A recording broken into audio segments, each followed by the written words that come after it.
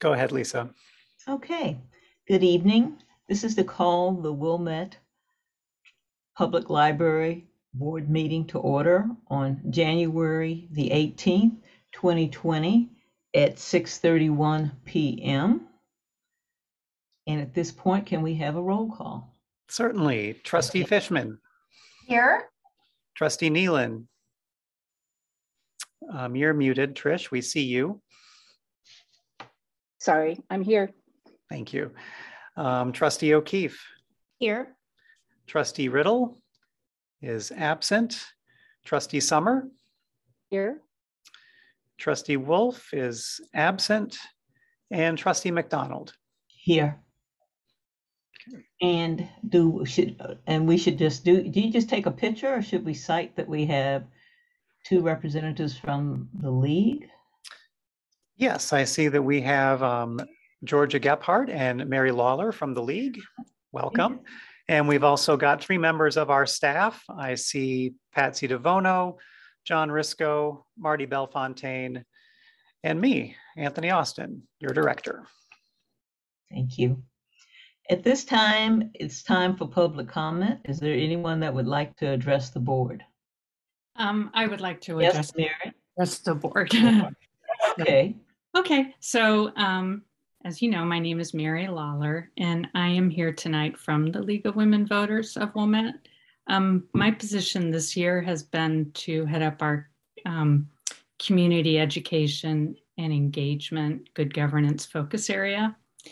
Um, and our co-presidents, Wendy Zahn and Ann Sullivan, um, authorized me to speak for the league tonight. I think you may have received, you all may have received a letter, an email from Wendy and Anne.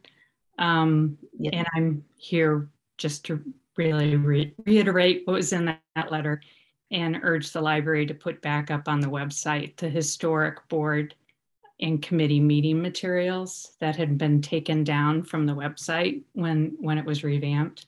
I know the email also referred to historic board videos, and we see there are board videos on the website going back to 2017. So my comments tonight really are just focused on the meeting materials. Um, we really appreciate the board, the library's new website. It has a lot of great information, um, including on the financial information page. Although just as an aside, that page is kind of hard to find. It would be good to put some more obvious links to it. Um, and so, um, but, but with respect to meeting materials, um, everything earlier than just a few months ago is gone, other than um, agendas and minutes. Um, so none of the board meeting materials that the board looked at and that had been posted is on anymore. And um, that really makes the library an outlier in Wilmette with respect to government bodies and historic meeting materials. The village board, park board, District 39 and District 203 school boards all have meeting materials going back many years, not just a few months.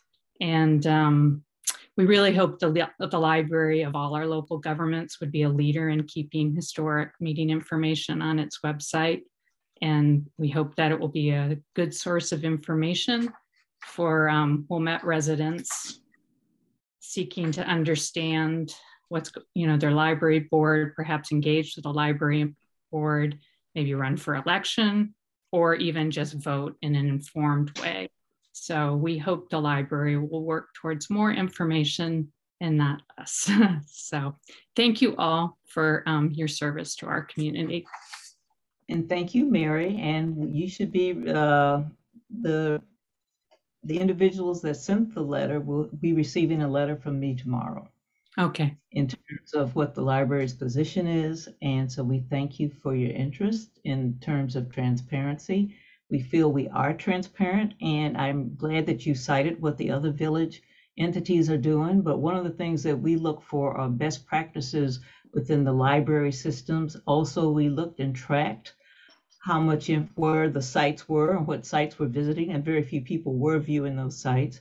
And I believe that you can attest that any time that you have requested something from Director Austin, you've gotten it pretty speedily. So I don't think it's a case of being of trying to be transparent. I think that the new uh, website just got up in October.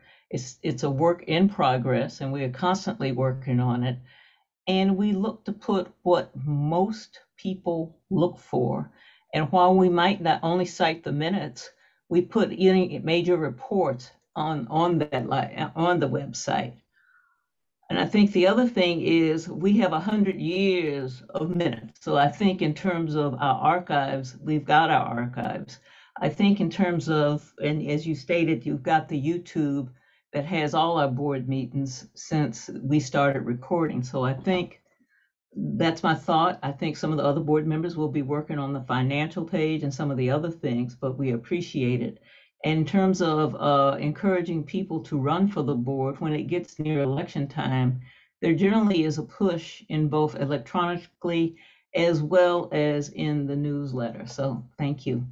In terms of what the requirements are and what's needed in terms of when that season starts. So thank you. Okay. Are there any other comments from the public? Okay. At this point in time, you've got your minutes from the November 16th, 2021 meeting. And there's one correction which Director Austin has already talked to in terms of correcting uh, Mrs. Gephardt George's uh, last name. Are there any, is there any other corrections can we have a motion to approve the minutes for the regular meeting of November 16th, 2021? Also motion to approve those meeting uh, minutes from uh, the meeting of November 2021. Thank you. Trustee Wolf has moved to approve the uh, minutes from uh, November 16th, 2021. Is there a second? I second. Okay. Trustee Summer has has seconded the motion to approve the minutes. Is there any additional discussion? Okay, had been none, can we have a roll call to approve the minutes from the November 16, 2021 meeting? Certainly. Uh, Trustee Fishman, Yes. Trustee Nealon, Yes. Trustee O'Keefe, Yes. Trustee Riddle is absent. Trustee Summer, Yes. Trustee Wolf, Yes, and Trustee McDonald. Here. Thank you. Okay, at this time, we'll turn it over to our treasurer, Trustee Summer, for the treasurer's report. Oh, wait one minute. There are no presentations, so let me just note that there are no pre presentations with this meeting. And now we'll turn it over to the uh, treasurer's report with Trustee Summer. Thank you, Trustee McDonald. Um, I just have a couple small comments. Um, as you all looked at, there was a small grant receipt eh, of $1,300. I know it's small, but I didn't know what it was. So I asked. It is a quarterly rail support grant that we receive. Um, another item that caught my eye was there was a check for $16,775 in December to Computer View. And it seemed kind of high for computer maintenance, but according to John and Anthony, it actually is a um, quarterly fee we pay them for computer maintenance. Um, utilities tend to be running under budget, but keep in mind uh, with the winter heating bills, they generally will probably catch up to a more uh, on budget. So even though they look pretty far under budget now, the winter will change that. Um, and probably the only other comment, um, I was talking to Trustee O'Keefe, and if you're looking at the financials in December, it looks like that we have a year-to-date loss of net loss of $1.6 million. And I just want to, if John can correct me if my explanation isn't completely accurate, but it really represents the operating expense, income and expenses, less the distribution of any funds from the special reserve fund. So, you know, we did put have a fairly significant outlay of our, I believe it's our final, you know, large payment for the capital project. So we really don't have what would I consider an operating loss of $1.6 million. Does my explanation make sense to every, anybody? Anybody have any questions on that? Concerns? All right. Um, any questions at all on the rest of the financials, checks, anything? All right, would someone like to make a motion to uh, approve the bills and salary check detail? I move to approve the bills and salaries detail. for November and December 2021. Yes. And I will second that. Thank you. So trustee Fishman has seconded the approval of bills and salaries check detail for November, December 2021 after Trish Ne- Nealon, trustee Nealon moved, made the motion. Is there any additional discussion regarding the uh, November and December bills and salaries? Okay, being none, can we have a roll call for Certainly. Trustee Fishman, Yes. trustee Nealon, Yes. trustee O'Keefe, Yes. trustee Riddle is absent, trustee Summer, Yes, trustee Wolf, Yes, and trustee McDonald. Yes, thank you. At this point, we we move to action items. Uh, six of the seven trustees were present for the December fourteenth review of all our policies. They those six approved us bringing forth the policies with some, uh, changes that have been made, which I'll just briefly go over with the policies. And prior to that, uh, Anthony, Director Austin's procedure is basically he and his leadership team get together and they look over uh, what acts, say for instance, in the uh, event of general rules of conduct. And so they look and they talk about it and uh, come to agreement. Then it goes to legal. Then generally, after it goes through legal, we see it. And so that was at the point where we discussed it. I don't know if you want to have, add anything else in regards to the procedure, Director That's Austin? good. Okay, so the first uh, policy that we approved is the COVID-19 vaccination policy. It's a new policy. And some of the changes that were suggested to that policy uh, basically what that policy is doing, and I'm just going to do it, it's basically looking at what is being happening with the state. And so it is a fluid policy. And so what we do is generally it's putting in practice what we've been doing. And so is there any discussion on the COVID-19 vaccination policy? And I think we applaud the efforts that uh, Director Austin has been doing with the COVID-19 policy because when we get to two comments, two of our patrons have complimented us on keeping things safe. So we've had more people for it over the last two years, I think, than against it.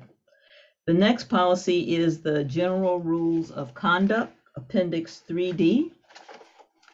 And a lot of paper. What that does is basically put detail what is acceptable behavior in the library.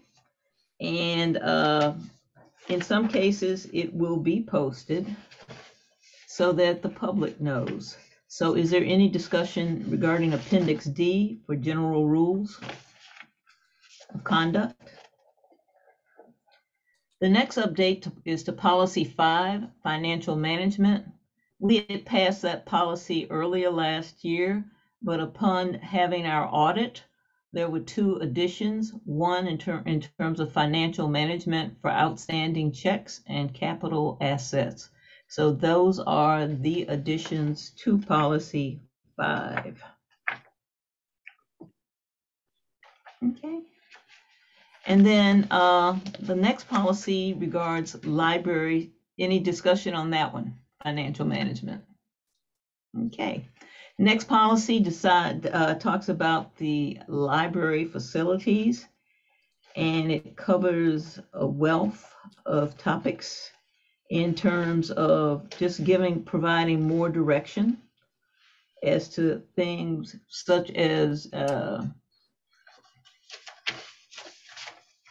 basically in this is like a hot mess. Okay. Rules conduct. Let's use a library. Lisa, I pulled it up. um, Okay. Such as the disaster plan, safety drills, smoking, cleaning, very miscellaneous. Okay. Thank you. It's all in paper land. And then the last policy is community relations, and so it specifies a little bit more in terms of the use of library bulletin boards, distribution of materials, tabling, exhibits, and displays. And one of the changes, additions really was basically Yeah, so that's basically it in terms of just clarifying it, so it will be easy for uh, the staff to implement the policies as well as to explain it to the community. Any other discussion regarding the policies? Policies. I just have. Okay, I just have. Tracy. Oh, Tracy, I then was- we'll do Trish. Uh, I was just going to say, I really appreciate them, the library and the director being so forward thinking in the vaccination policy. I fully support it and I'm hoping that the staff feel the same way. I think it, as a patron who's in there all the time, I'm very grateful that that is the policy. It's just a nice feeling to know that those people that we might be in close contact with and for people that they may be their coworkers. So um, I'm very, very happy and I fully support that policy in addition to the other ones. Okay, Trish? Trustee I Neal? to, yes, I wanted to comment on the um, community um, engagement relations policy. Um, I found, I find it really valuable that um, the library has really clarified who exactly our partners are and how there's mu- mutual benefit between groups and how it singles out Friends of Library as uh, an affiliate Mhm. and um, and then also reflects an openness to work with um, uh, partners in the future going forward. If kind of keeps the door open to um, uh, some good collaborations as they may arrive.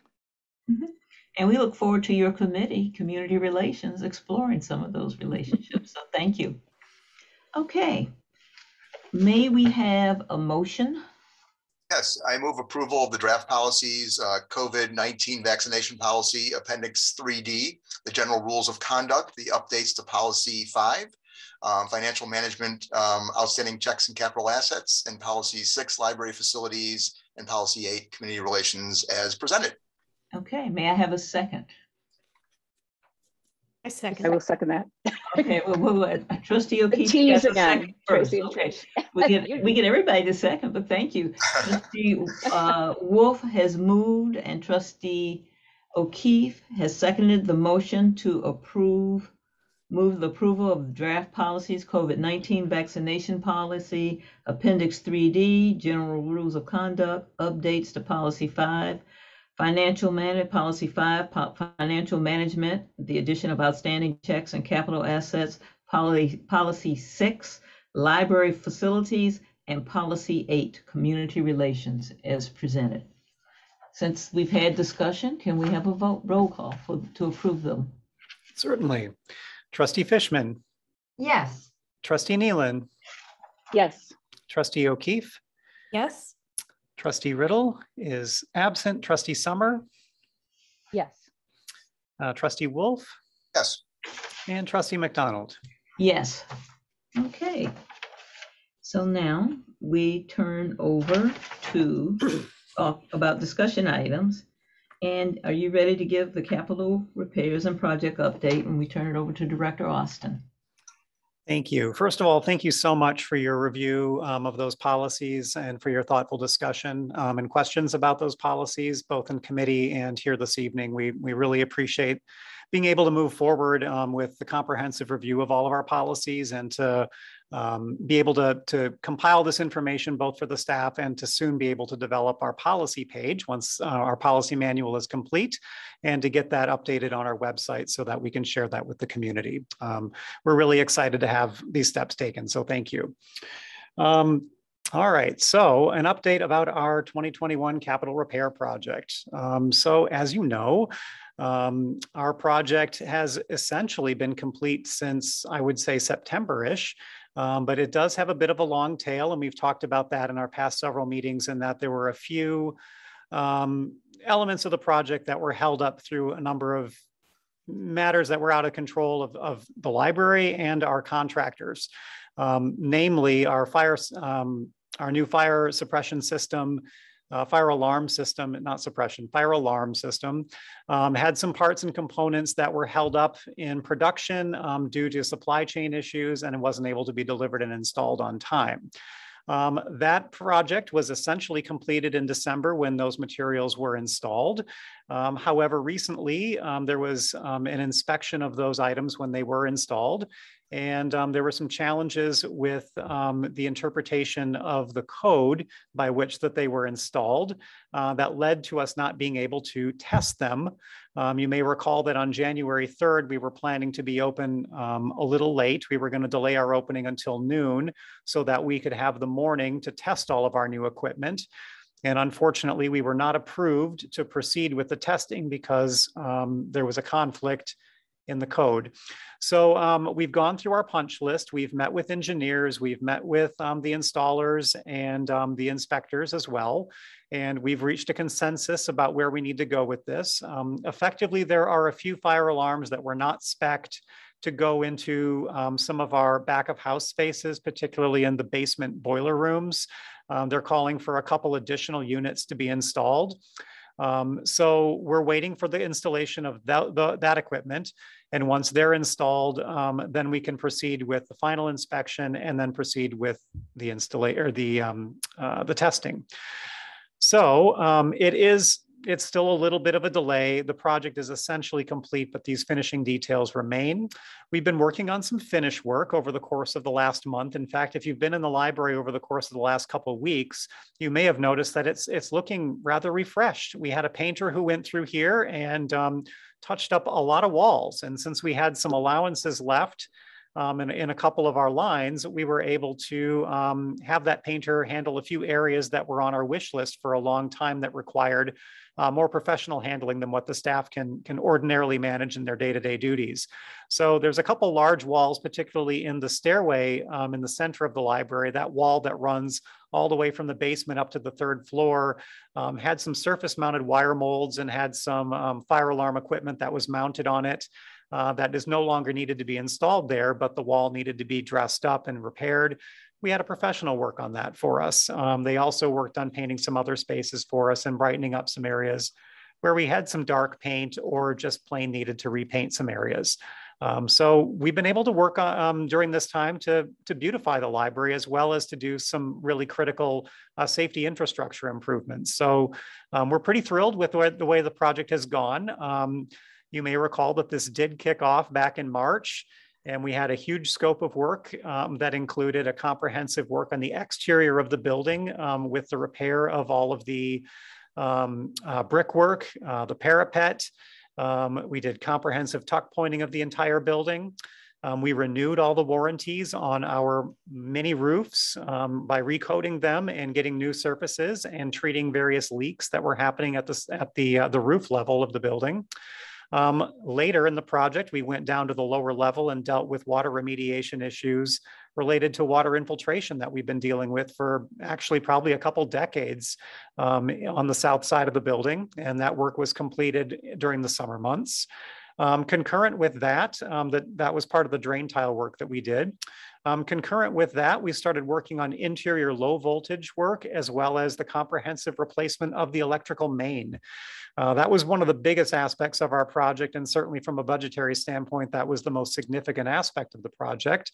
Um, we closed for a period of two weeks in August to complete the um, uh, replacement of the electrical main as well as the main distribution um, power equipment.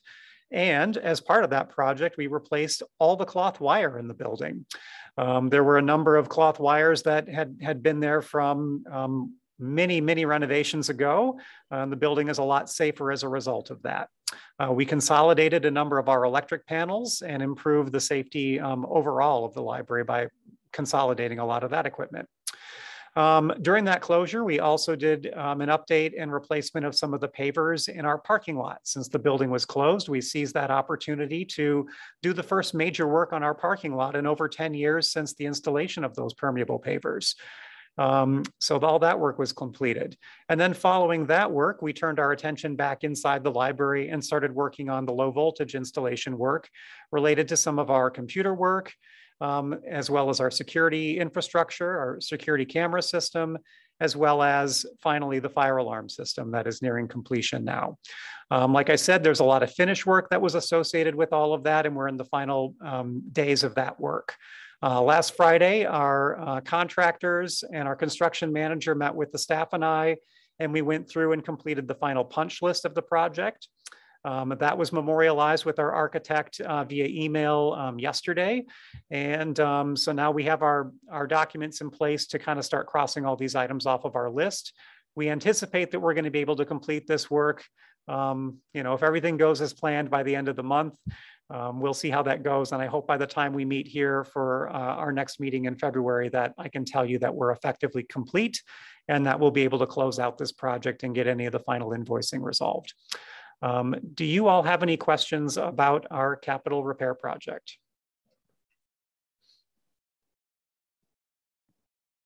Yeah, Lisa, go ahead.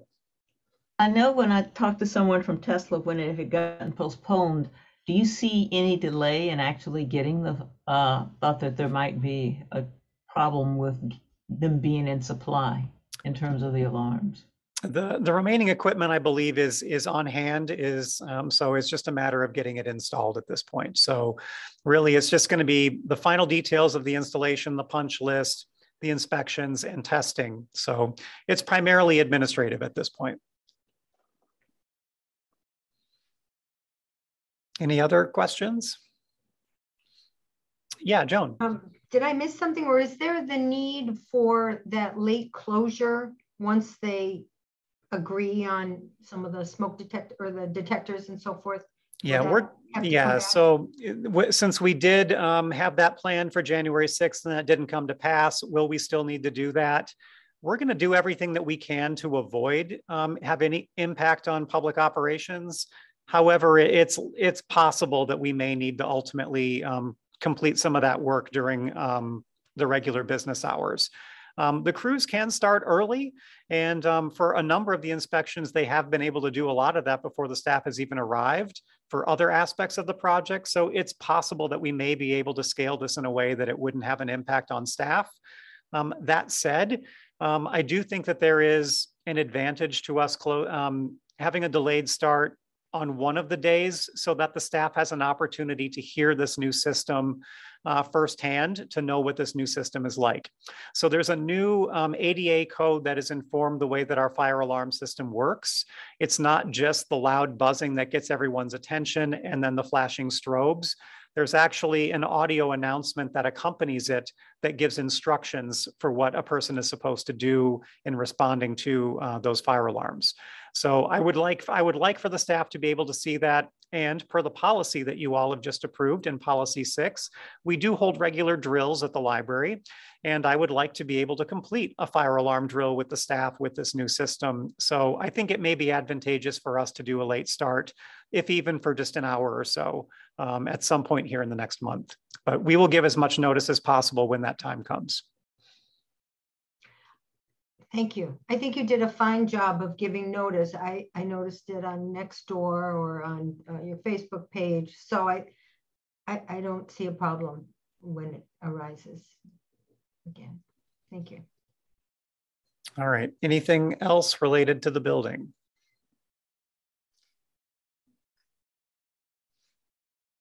Okay. All right then.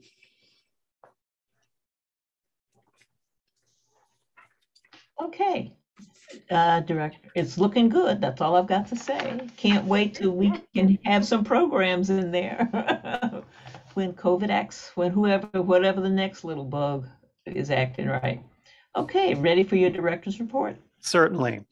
Well, let me bridge on that for just a second and kind of say a little bit more. So there were some areas that were affected by the capital improvement project that have um, had an effect on some of our spaces. So to, to Trustee McDonald's point, um, the auditorium has effectively been off limits to the public for the better part of that closure.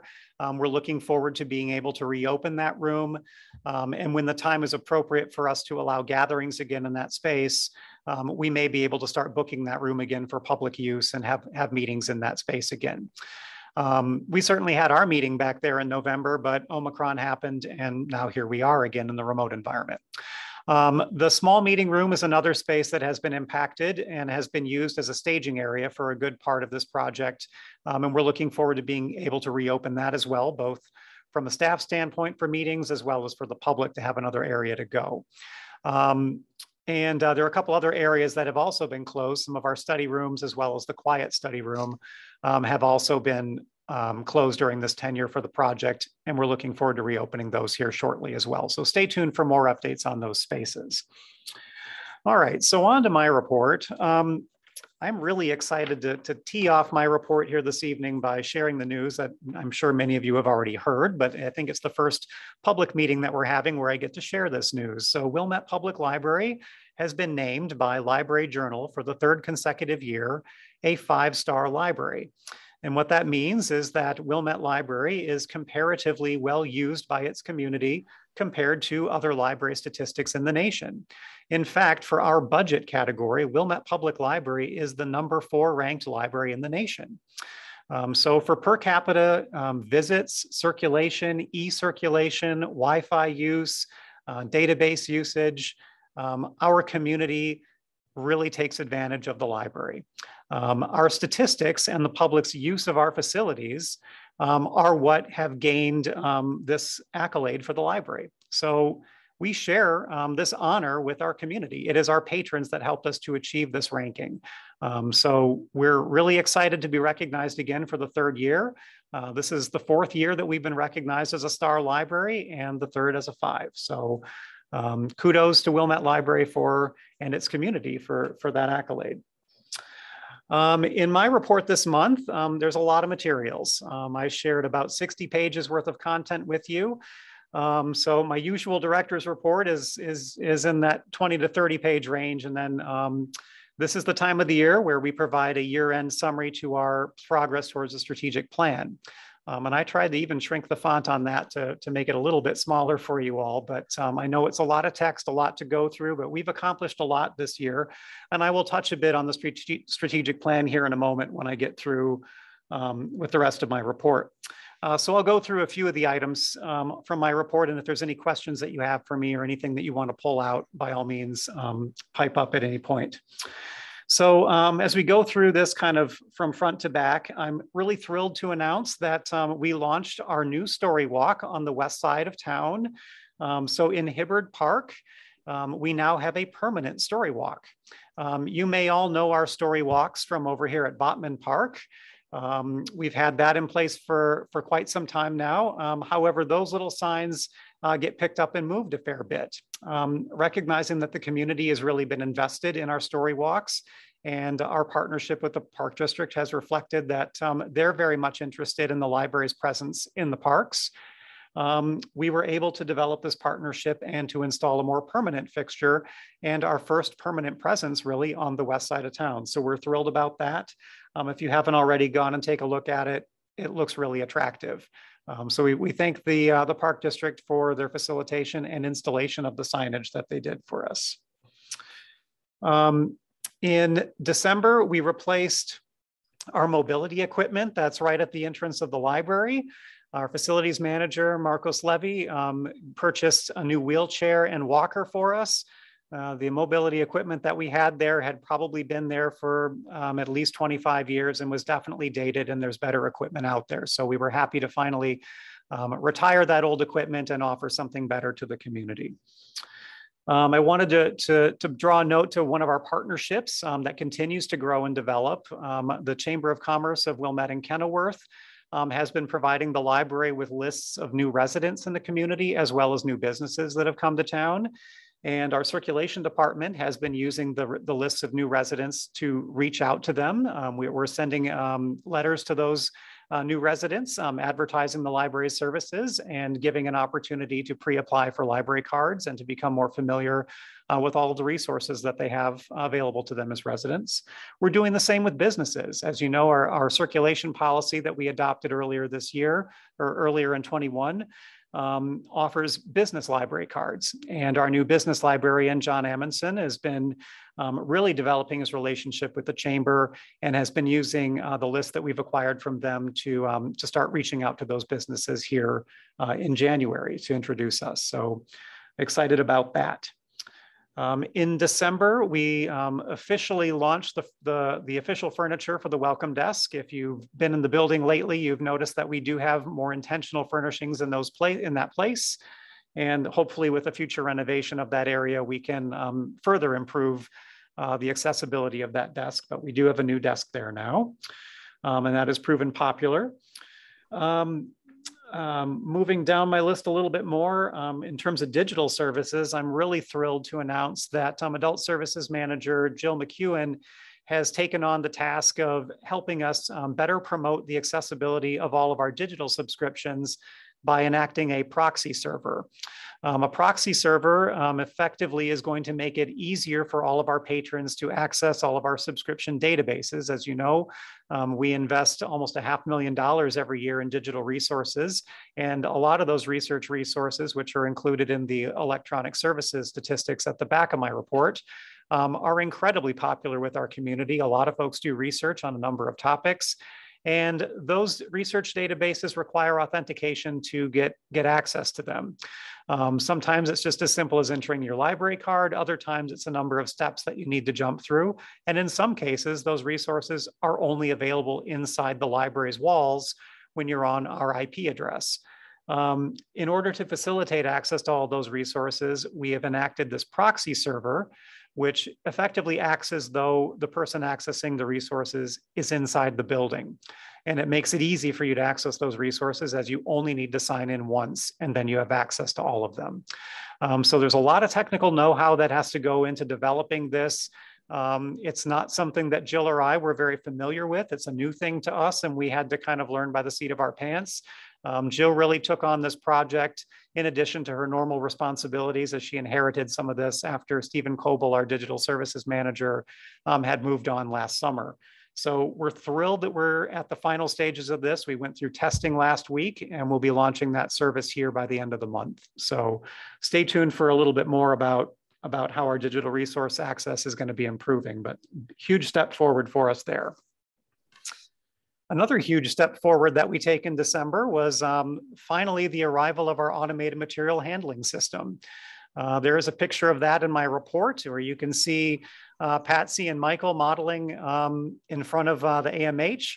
Um, we're thrilled that that finally arrived. As you know, that's been about a year in the making, getting that equipment in here after a, a number of hoops that we had to jump through to get it there, but um, it finally is here. Staff has been trained and the efficiencies that that system has created um, have created a wealth of opportunity for us already.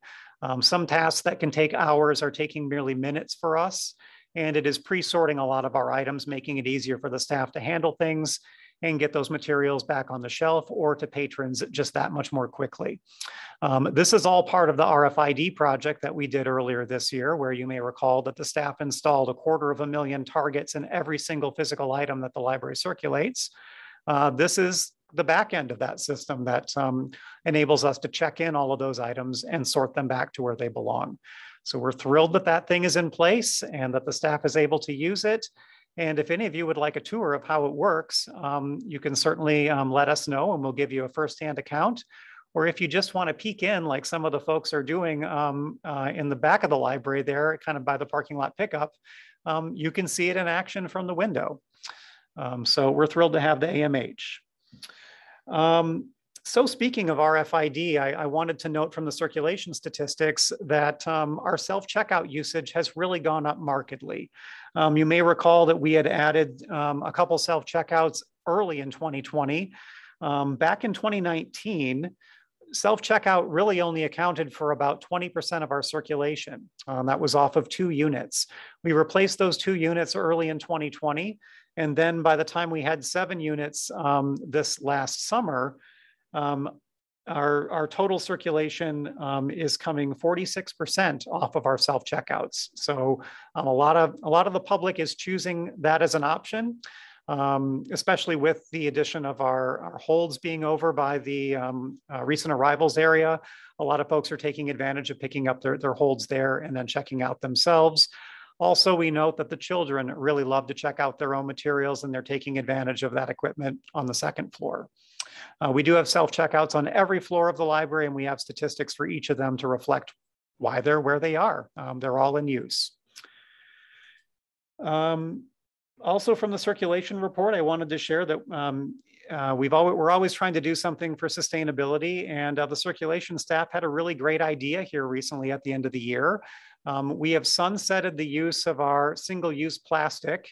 Um, we had these recyclable bags that we were putting all of our parking lot materials in um, since early on in the pandemic. And um, we've recently acquired a lot more of our circulating totes uh, that the patrons can check out. And we were like, hey, this is a really clever idea. Why, why not just put all these items in here and make it just that much easier uh, for us to transport these items. They're more durable bags and um, it's a greener solution. So if you're using parking lot pickup, you will notice that um, we have reusable totes now that we're using for those materials. All right, on to programming. Um, uh, Anthony, yeah, um, go I ahead, have a Joan. question. How is the, um, I love the reusable totes and take them, check them out often. How is the return though? Are we getting them back or do we lose? I don't have, I don't, statistics on that or yeah, I don't have statistics at hand for you about that. Okay. Um, it is true that it has been kind of hard for folks to return those at, at times, which is why we acquired uh, certainly more of them so that they were always some available. Um, but yeah, I, I think that sometimes, you know, if patrons re- renew their items, they may just renew the bags with them too, and the bags don't come back. So it was really more of a question of making sure that we had the right quantity in the first place. Okay, thank you. But they do have a, they have a barcode on them, so they get checked out just like the books do and they need to come back.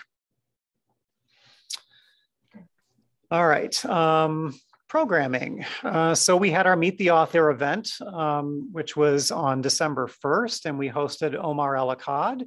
And we had nearly 70 um, screens that uh, viewed that particular event. So we were really thrilled for that and our partnership with Jack Doppelt from uh, Northwestern um, as well as our programming partners, Amy Barrow and um, uh, Barbara Goodman. Uh, so we were really thrilled about that. Um, good positive response to that programming. Uh, speaking of programming, we just kicked off our Winter Reading Club on January 3rd, and that continues through the end of February. Uh, this year, our theme is to encourage folks to read outside of the genres that they usually do. Uh, if you go to our website, we've provided um, some reading lists for folks um, to try out something that they may not ordinarily read. Um, so do check that out. And um, we're offering the same incentive prizes this year as we have in, in years past, generously funded by the Friends of the Wilmette Public Library. Um, speaking of programming, we did have to make a difficult decision here in January regarding in-person programming. You may recall that our New Year's Eve Eve um, music event uh, that's typically held on uh, December 30th. We went ahead and suspended that program, recognizing the rise of Omicron in our community and the high rates of transmission of COVID.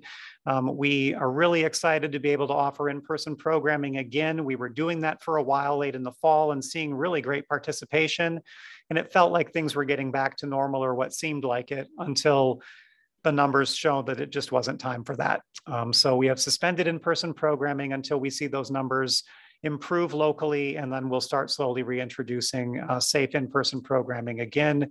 We'll follow the same procedures that we did in the past by trying to keep um, those program attendance uh, events to a smaller crowd um, and to try to encourage uh, social distancing as much as possible in those events. So stay tuned for more announcements about our, our in-person programming.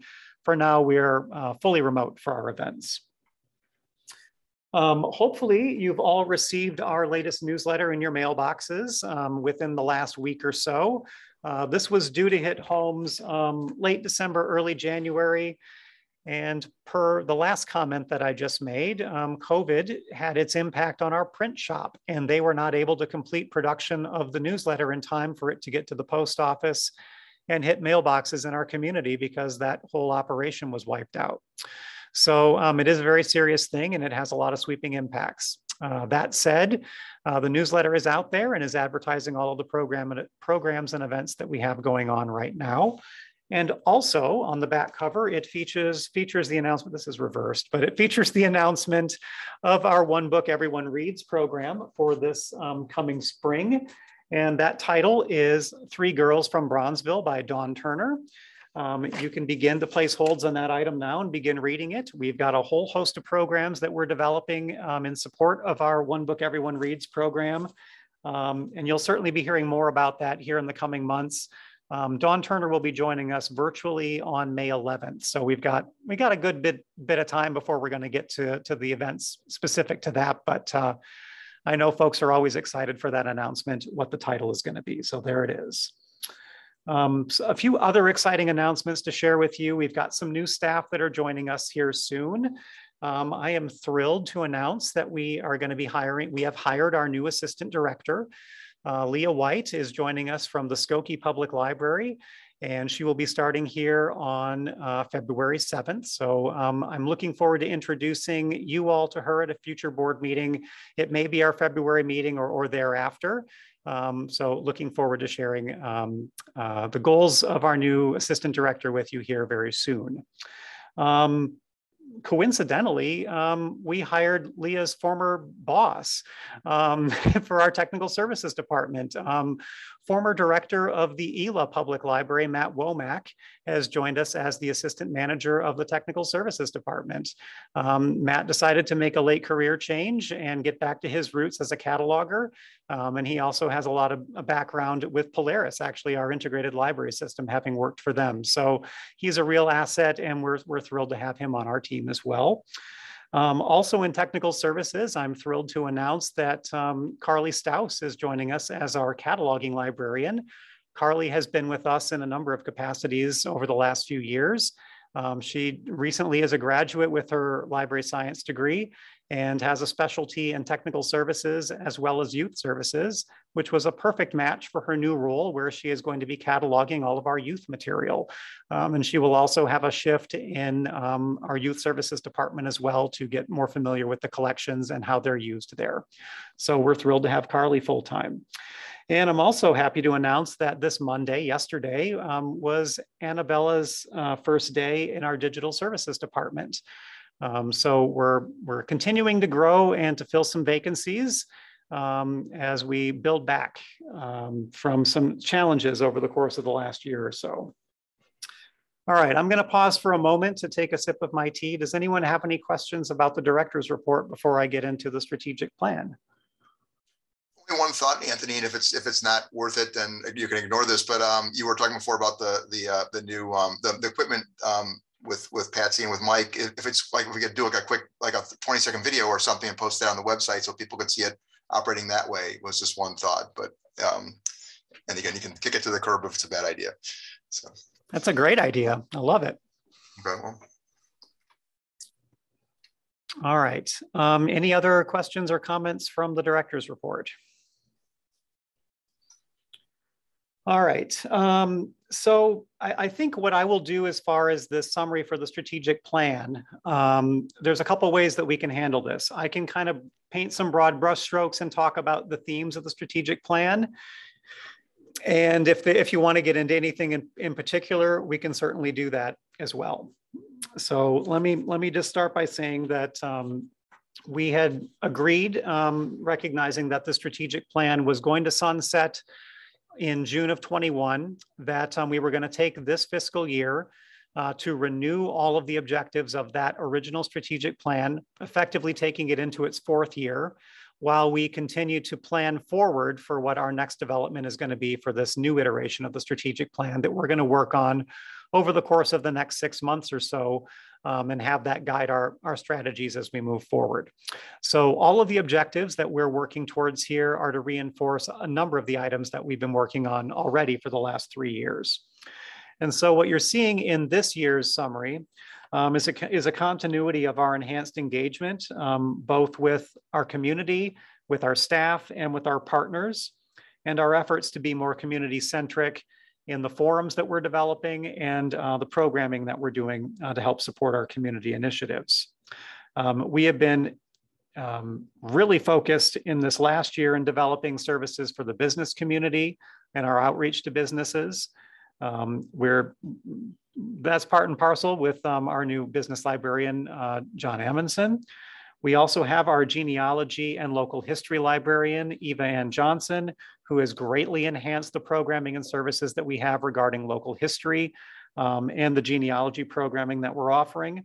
Uh, she's also been a strong partner for us in helping to bring forward um, the programming that we're planning for Wilmette 150 as we are celebrating the village's sesquicentennial this year. Um, we've also done a lot to enhance our reader services, including the further development and refinement of our website and how that promotes our collections. Um, we've also continued to do a lot of development with our author programming. Um, you may recall that we have begun a partnership with a number of area libraries in this last year, uh, an organization called Illinois Libraries Presents, uh, which is a partnership of uh, dozens of libraries across Northern Illinois who are all joining hands together in order to bring in big name authors that individually we would not be able to bring to our communities.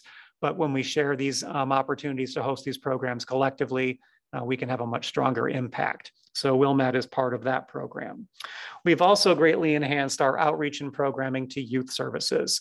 Our youth services staff has been absolutely exceptional and clearly challenged a lot by what's been happening throughout the pandemic and has been doing an awful lot to keep families and children engaged um, when their whole worlds have been turned upside down.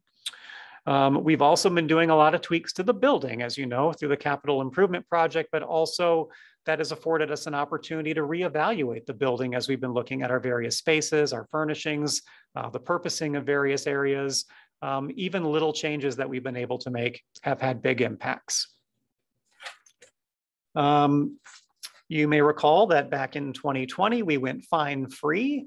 And that has had um, a number of um, impacts on us as well, positively. We're seeing greater um, usage of our collections. Um, we're seeing higher rates of engagement. Um, our card holder um, active cards, um, uh, over 70% of our library cards have been active, active in the last year, despite the pandemic. Um, and nearly 80% of households in Wilmette have an active library card in them, which is pretty remarkable.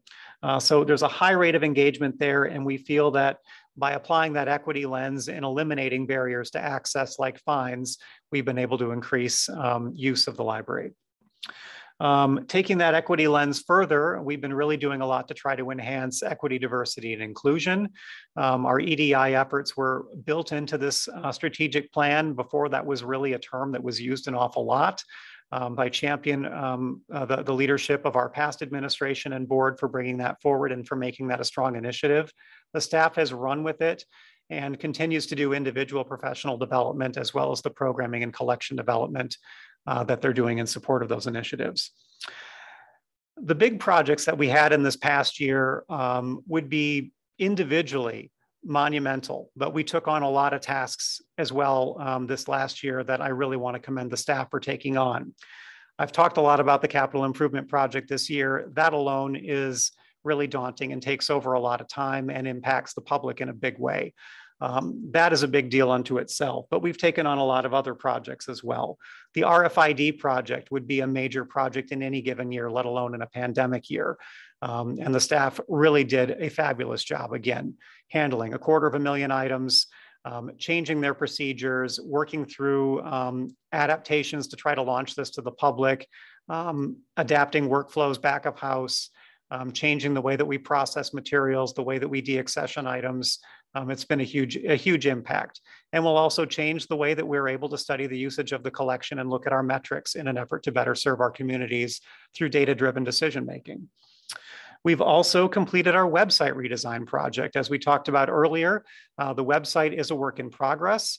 Um, it is only two months old. There are a number of items that are still on our list that are not complete.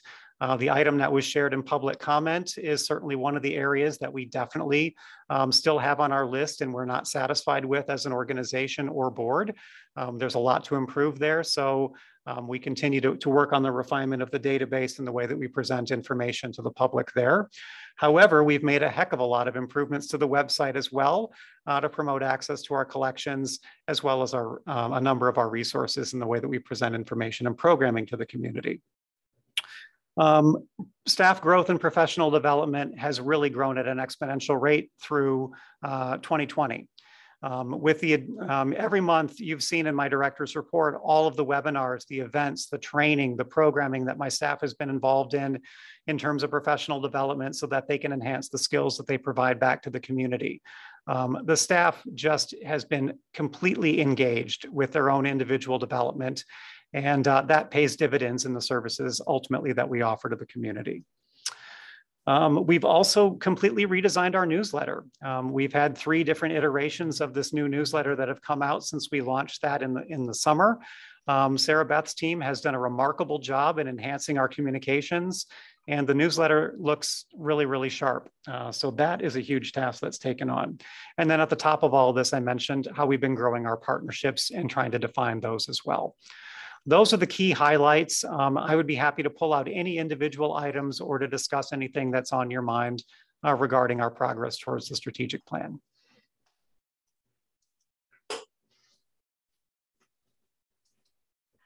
I have a question. There was some talk about uh, having some of the board members do Lisa, Director McDonald, about sitting at the front and getting some input from some of the patrons. Is that something that is ongoing? Is that something you're looking for trustees to help with? That was put on hold because Anthony wanted us in the vestibule, and I don't think any patron would stop in the vestibule during the winter and talk to us. And so I think COVID put, sort of put a glitch in it. But I think the key was to find some place like there's a place where they put book suggestions. And I think you've got the, that might be a good place, but I think it needs to be sort of in the front. I know he didn't want us roaming around, which I would do, to talk to the patrons and just, you know, introduce ourselves and just get about a three minutes of comment in terms of just basically what they liked, what, you know, what they would, you know, what, what the, we, what we could do to serve them better. And so I think we have a difference of opinion of that. I, I feel comfortable with in terms of not, you know, just asking. I'm just yeah, got a few minutes. So that was one thing. I think the other thing uh, that we had said in conjunction with the strategic plan is to have uh, a half day session, and you all agreed to it with the staff, with the department heads to talk about, to get their perspectives as to, you know, each of their departments in terms of what's going on, what their strengths, what their weaknesses are, what they would like to see, what can be improved, not necessarily weaknesses, but what could be improved and what the future is looking like in terms of where they see their services going.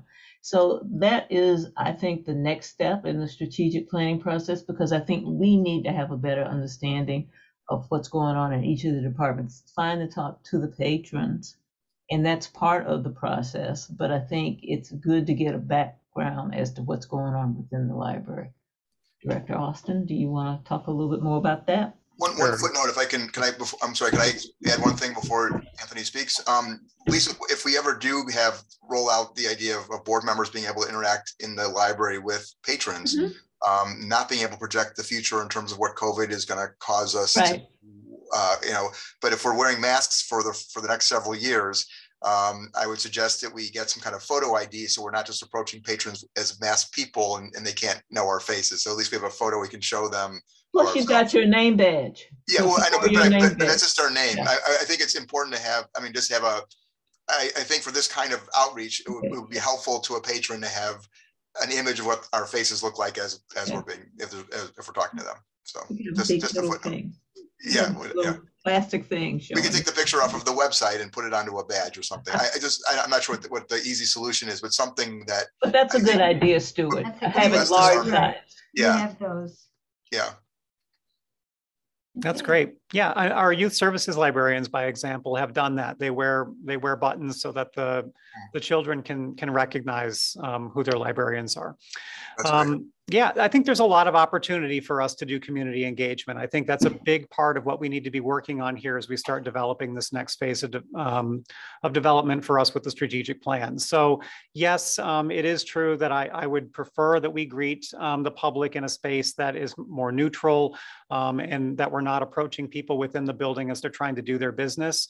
Um, and I want to try to find a space that is going to be appropriate for us to make sure that there's um, ample space around us for social distancing and so on, that we're going to, not going to be blocking any high traffic areas when we do that type of uh, community engagement.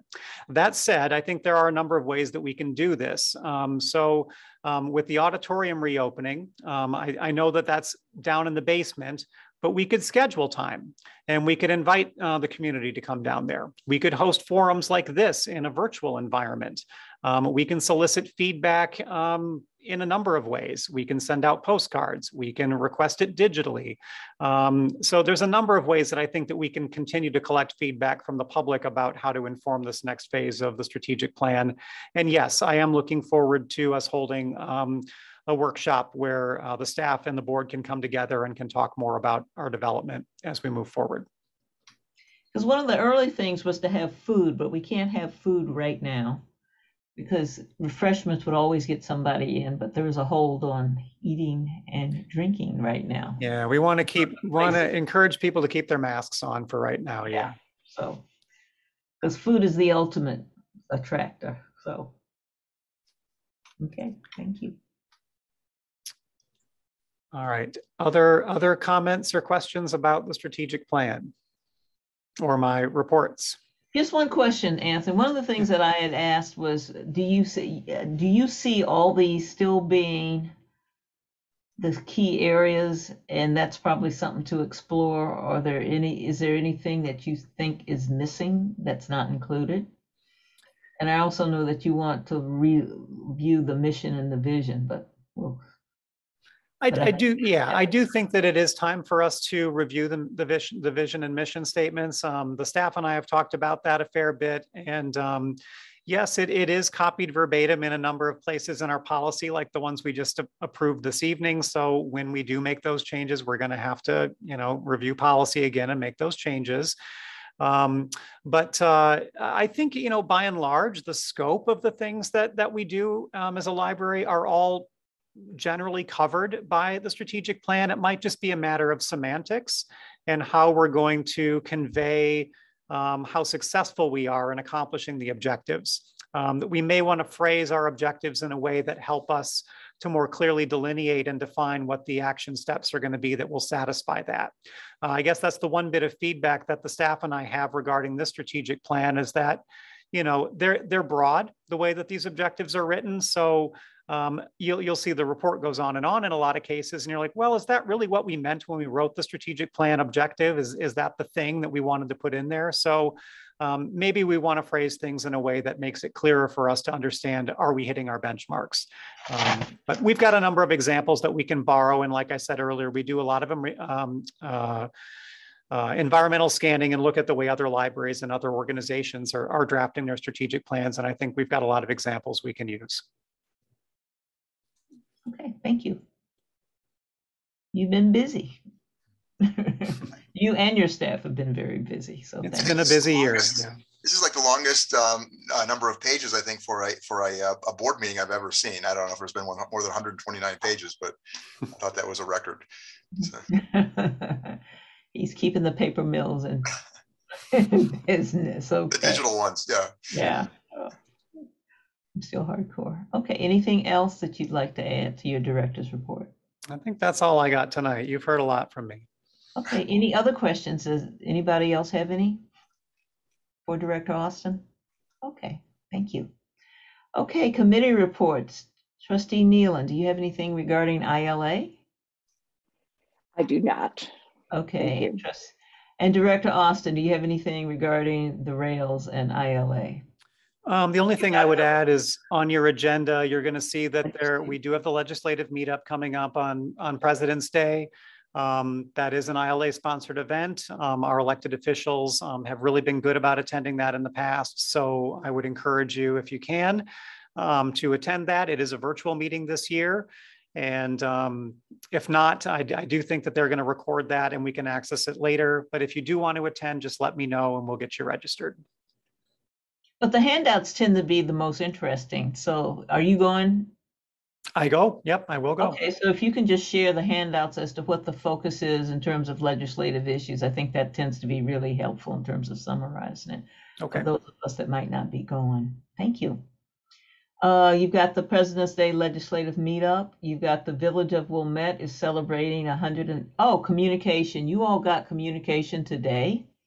There were four positive comments and uh, one uh, congratulating uh, the, and I, we never state the names of who sent it out of privacy, but one firm congr- congratulating the library on their rating and their award from one of our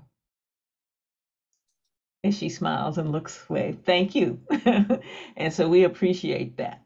And then you got two compliments for Director Auston and the entire staff regarding COVID protocols. And then there was one complimenting Christine for assistance with Shutterfly two days before Christmas, a, per, a woman whose mother had died. And so she was putting together a booklet. And so that was a wonderful one to see. And then you've got some other uh, communication, and I think uh, Ms. Lawler uh, communicated that all the board got, and then we got another one from Director Auston today that was anonymous. So that's the communication. And uh, you got President's Day. The Village of Wilmette will celebrate its 150th birthday. Uh, the library is participating in Winterfest. It's on February 12th and they will have an ice sculpture. There'll be ice sculptures all along the village, and there may be some other entertainment to be confirmed. And you'll be seeing that virtually, you'll be seeing that through uh, digital communication. And the hope is that it will be in conjunction with the village's Sunday celebration on February 12th. Anything else to add on that one? Okay. And so there are a lot of things going for that that Sunday. So please stay tuned, and you can all see it by just going to wilmette150.org to see all the things that are going on.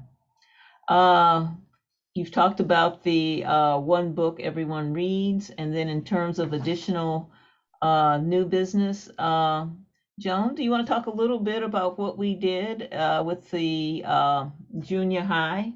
with the Student Leadership Village in Sure. terms of, that was your first time attending? That was my first time, right. participated with the This is um, a program that's been going on for many, many years. Uh, I think almost 50 years, where um, a number of students, probably more in the past, I think they've had 30 um, junior high students, eighth graders, who were chosen to participate. And um, village president Senta Plunkett spoke on behalf of the board, village board, that these students will be invited to go to attend a village board meeting or, or a number of them and actually participate. So they'll, she stressed how they'll get to sit in the driver's seat and make some, and how would they make decisions? How would they allocate funds? How would they uh, feel about certain things going on in their village? Um, and so I think it's it's a wonderful program and probably an eye opener too young people who never think twice about how things get done. And um, so they did have representation, both um, elected representatives and staff from uh, Lisa and I attended. Um, and then there was District 39, there was um, Village, and then there was uh, Park Board. So they had us in, um, I think, just two or three separate rooms and the students came to us, and each one of us uh, spoke on behalf of who we were, how we got there. I mean, how were we elected? Were we staff? Um, and what we did. And they had a series of questions for us. And um, it was really, um, I loved it. I just, my kids are older, so I, I loved being around these 13 um, year olds, most of whom were very attentive and, and inquisitive. And um, ask good questions. So um, I, I think it's a great program and uh, the league put this on. And um, I think that it's uh, something that we all should take a turn doing. Um, um I, I, I, really was engaged and um, some of the kids, one young man actually came up afterwards and said, he mentioned a few staff members who he recalled that were very kind to him, library staff members. And I haven't had a chance to share that, one of whom I think I know is still working. Uh, the other one I believe is retired. so the impact that library staff have on um, young minds and and it, it was delightful. It was really great.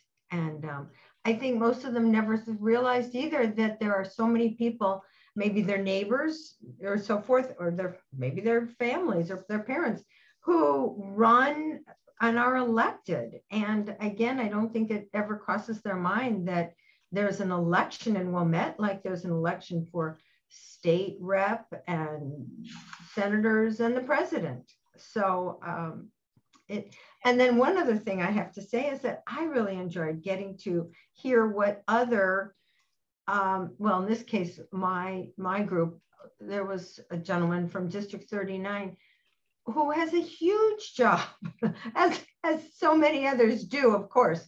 But um, I learned a lot myself, so it was, it was well done. Has anyone else attended and been part of that? Yes.